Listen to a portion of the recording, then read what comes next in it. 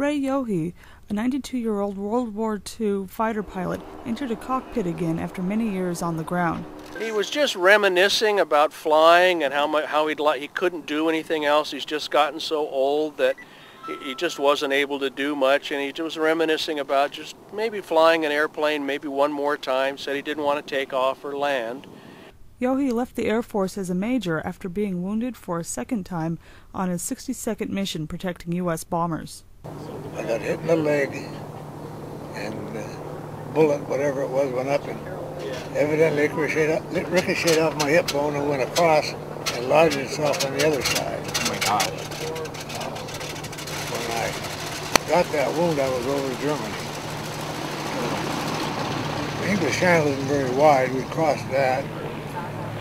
And uh, I came in for a landing. I didn't know this at the time. I came in for a landing and I had forgotten to put down my landing gear. I bled so damn much I wasn't thinking very Right. good. And uh, so I landed without the landing gear. And the airplane slid along through the mud.